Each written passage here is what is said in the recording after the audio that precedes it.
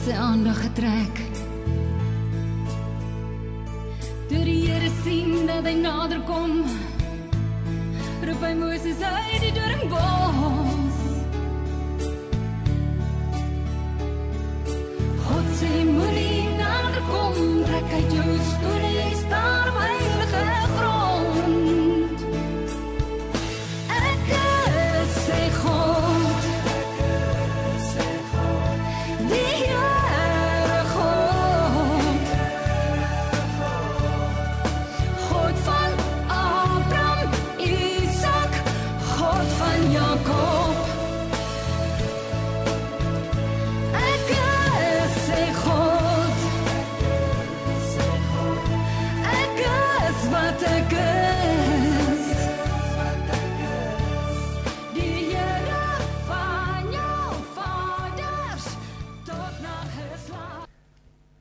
Hallo my liewe mens. Ja, jy Ben Loupser en die skaduwee aan jou regterkant is by die by die brandende bos. Ons moet vir Dudley sê baie dankie. Kyk hoe mooi lyk die ateljee vanmôre. Dit voel of ek in 'n nuwe plek sit. Dit is so mooi. Dis ek hou van die kleur, veral hier onder. Ek, dis so dis regtig vir my baie mooi en in in ja, baie dankie Dudley vir al jou moeite en al jou liefde en al jou geduld. Geduld met hierdie ou oom. En uh dit maak die brambos as ek so na die rooi en die geel kyk dan lyk dit regtig vermoere vir my of ek tussen die twee brambosse sit. En ek is bly jy saam met my en ek het my skoene uitgeskop want ek glo regtig wat die skaduwee aan my regterkant is waar die woord van God oop is. Sê God wat twee of drie in my naam is, daar is ek. Ek wil amper sê ek het vasgehaak. Oor dit vir my voel of ons nie besef hoe naby is God aan ons nie.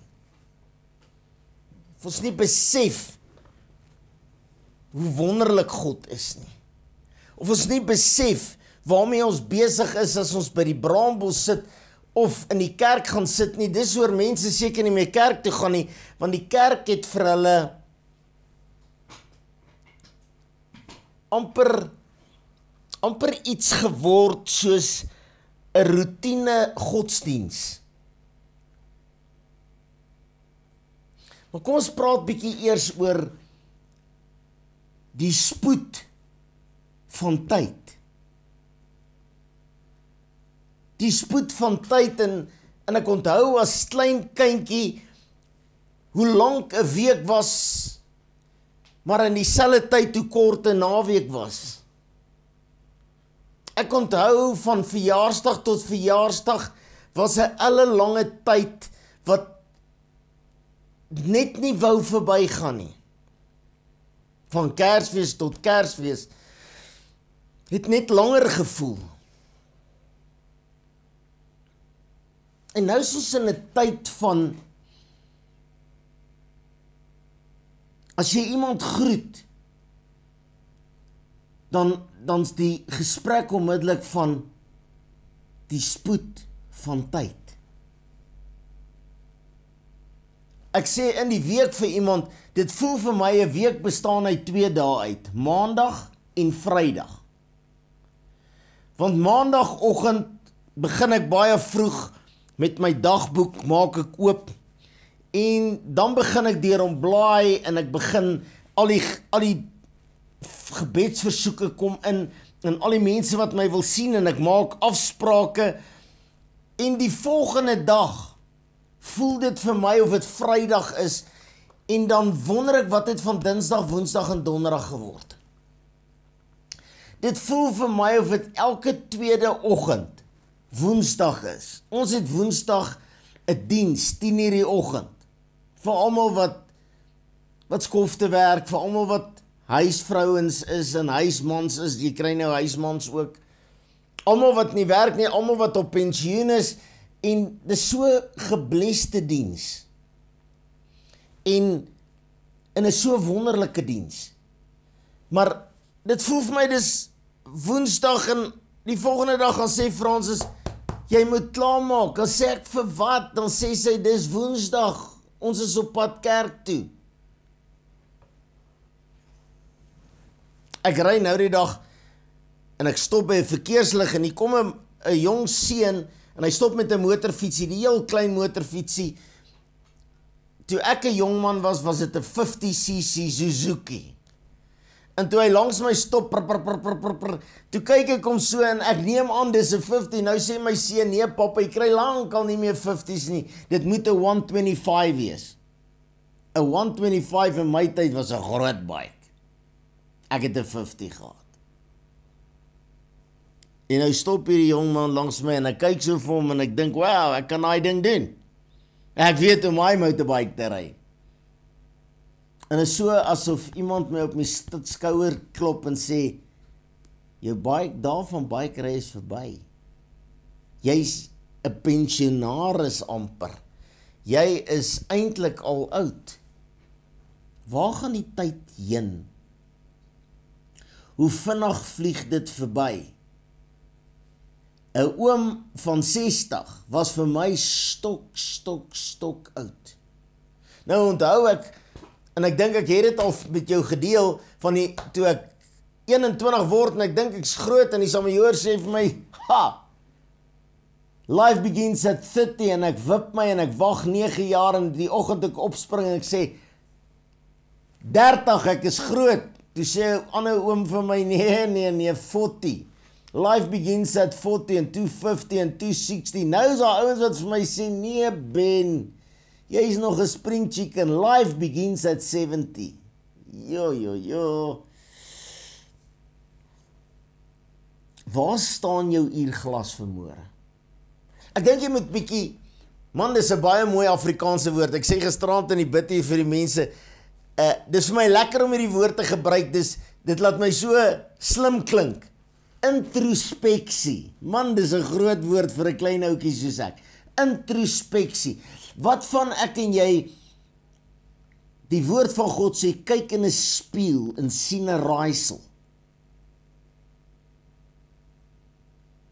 As jy 'n grafiek sou trek, 'n as en 'n as en jy jy maak 'n middelpunt op die onderste as en jy trek 'n streep soontoe. En hieronder skryf jy jou ouderdom. Myne 64. En jy maal hom met 2 in daai kant skryf jy in my geval 108 en jy verbind daai streep soontoe. Dan's ek nou halfpad met my lewe. Maar dink jy ek gaan 108 maak? Ek het myself kans gegee tot 70. Daarna sê die woord van God is geleende tyd. As jy nou van die boonste punt af na 70 toe trek en jy is in my geval 64 het jy 6 jaar oor. As jy 25 is, het jy soveel oor as jy 18 is, soveel oor as jy 80 is. As jy in geleende tyd, jy het verbygegaan. En dan kyk jy hoe klein is die spasie tussen nou en wat gaan ons doen aan die einde hiervan? En dan moet jy as jy die grafiek getrek het en jy kyk na hom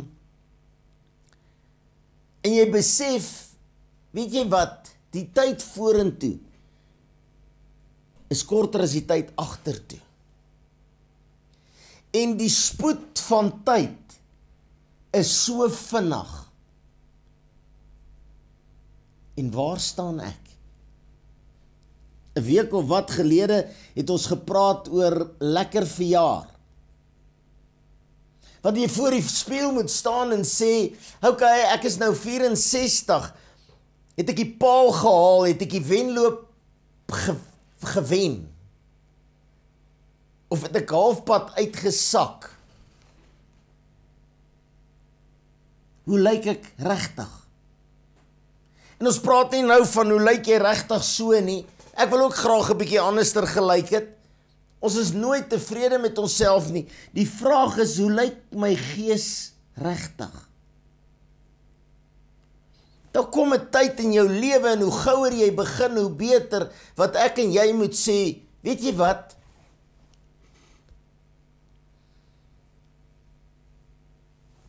Hoe lyk my gees regtig? Waarmee is ek regtig besig? Hier is die geskrewe woord van 'n lewende God. Glo jy hom? Glo jy die woord? Glo jy die woord onvoorwaardelik? Sê bietjie amen daar waar jy sit. Sê ja, ek glo die Bybel, die geskrewe woord van 'n lewende God. In die begin was die woord God en die woord was by God. En die woord het vlees geword en onder ons kom woon. En die woord sê na die dood hulle in Christus tot 'n ewige lewe en hulle buite Christus tot 'n ewige oordeel. Die woord van God sê daar gaan 'n wit troon wees. En ek en jy gaan voor die wit troon verskyn. En ons gaan almal eweveel genade kry. God is nie 'n aannemer van die persoon nie. Jy gaan nie selfe hoeveelheid genade kry as ek, maar dan gaan 'n vraag gevra word. Wat het jy met jou genade gemaak? Jesus vertel die verhaal van drie manne. Die een kry 5 talente, die een 10, die een 1. Talente kan jy gawes noem, jy kan dit geleenthede noem, jy kan dit kan dit noem net wat jy wil. Ons het elkeen genade gekry, die een 10, die een 5 en die een 1. En daar word een vraag gevra. Wat het jy met jou genade gemaak? Wat het jy met jou talente gemaak? Wat het jy met die goed gemaak wat ek in jou hande geplaas het? Kyk hier na Ben Loucher se hande. Kyk hier. Hier binne is so rooi kop vrou. Ben, wat maak jy met jou lewensmaat? Hier's 3 kinders in. Wat toe 5 geword het. Die een is in die hemel, anders sou hulle 6 gewees het. Hier binne is 7 kleinkinders in. Hier binne is jy's hier binne. Kykie, hier sit jy ook. God het jou ook in my hande geplaas. Ben, wat maak jy met die mense wat na jou luister op die radio of op die TV? Wat maak jy met die mense wat in jou gemeente is? En hulle is nie almal engeltjies nie, glo vir my. Wat maak jy met die mense wat God in jou hande geplaas het? Mense bel my in die nag oor nonsens. Vir my is dit nonsens, vir hulle is dit ernstig. But what would Jesus do? Wat maak jy met die geleenthede om God te dien? En wat maak jy met die geleenthede om na Lucifer agter hom aan te hardloop, agter die wêreld aan te hardloop? Ek kyk ek is baie lief vir Formule 1. Hierdie tyd van die jaar begin die nuwe seisoen. Ek kan nie wag nie.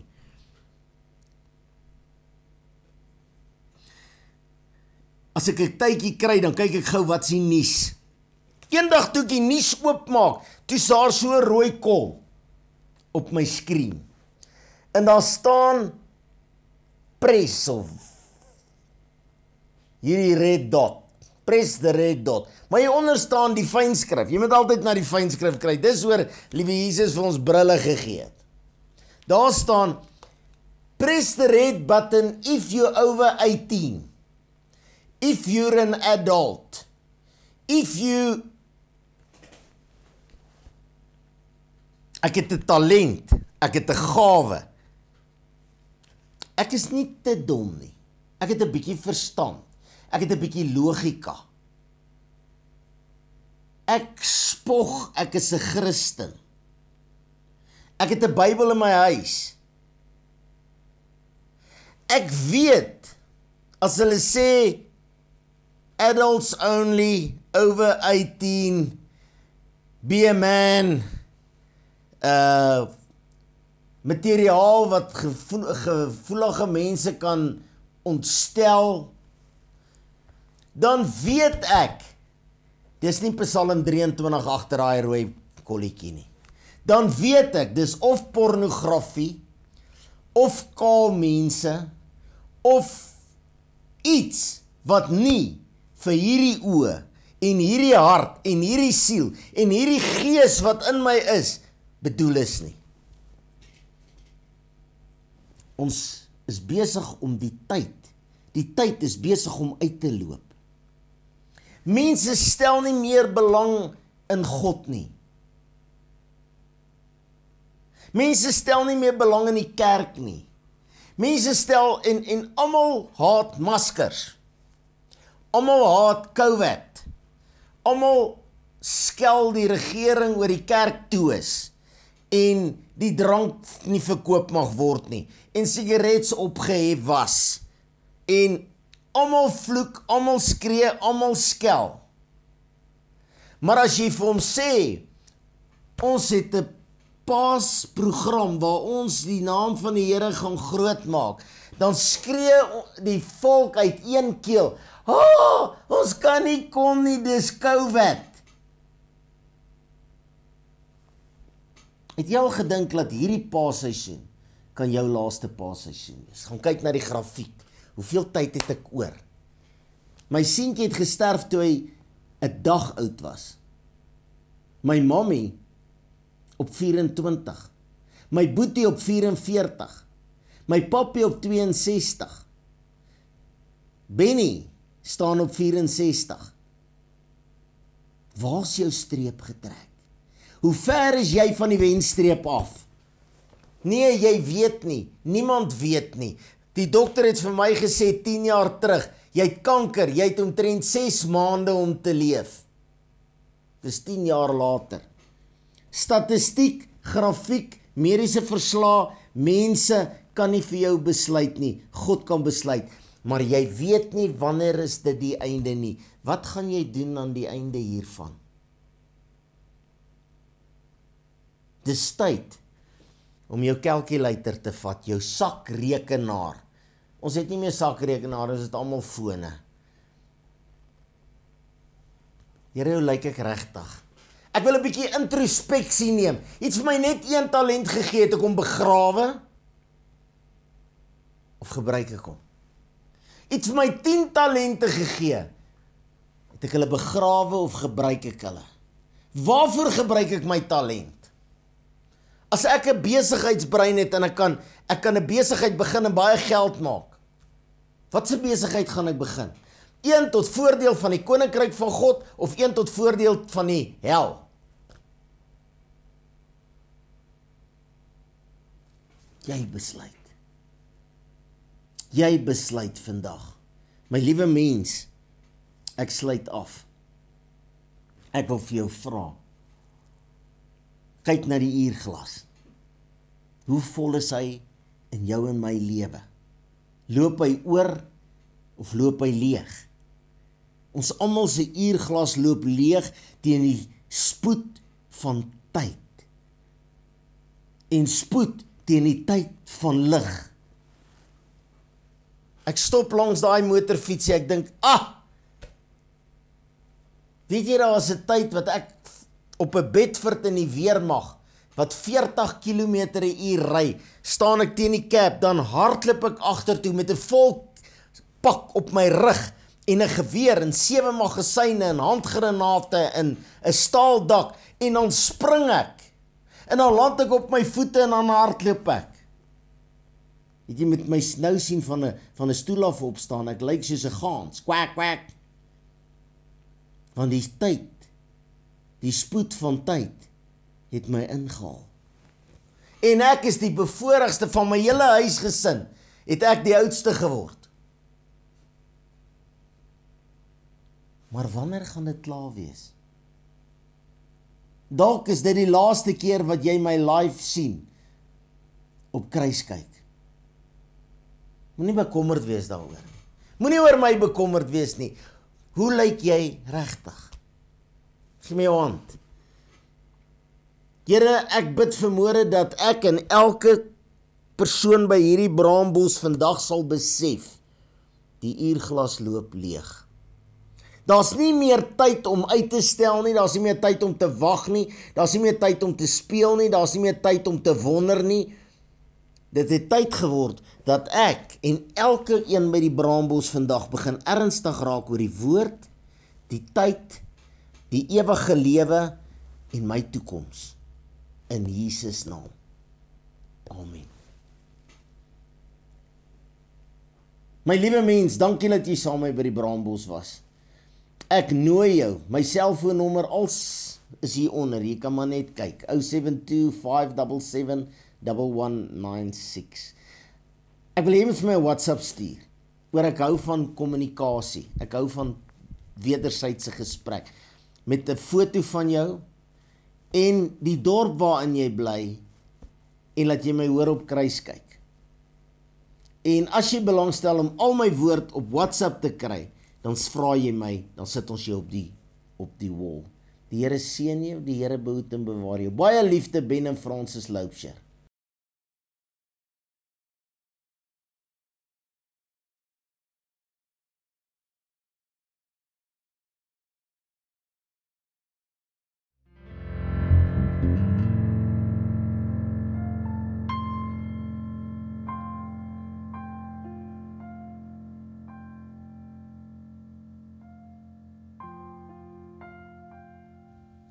There is power in the name of Jesus.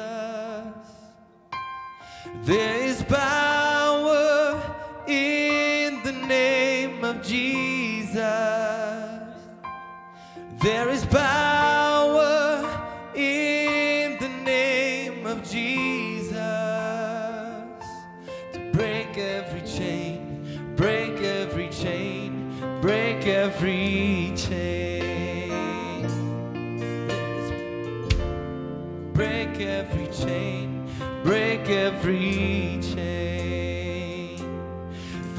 goodbye.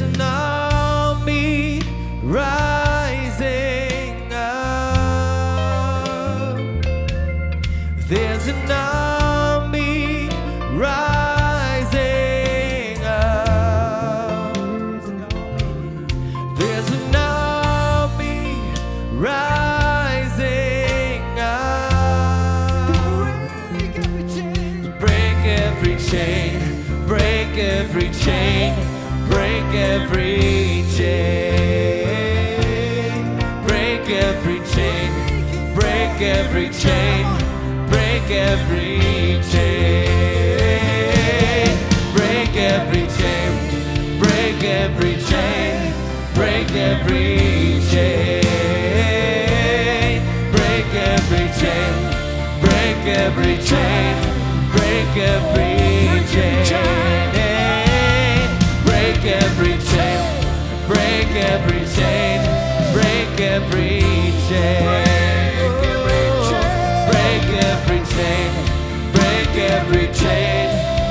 Every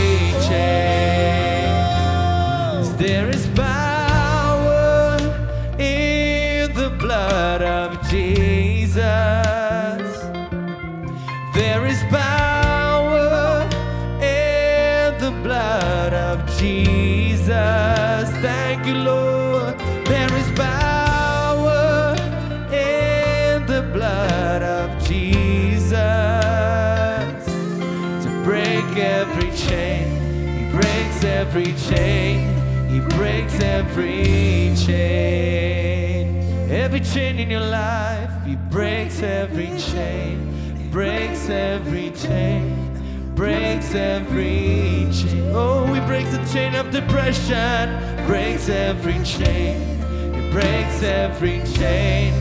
Breaks every chain. Every chain of darkness. He breaks every chain. Breaks every chain. Breaks every chain. The chains of poverty are gone. He breaks every chain. Breaks every chain. Breaks every chain.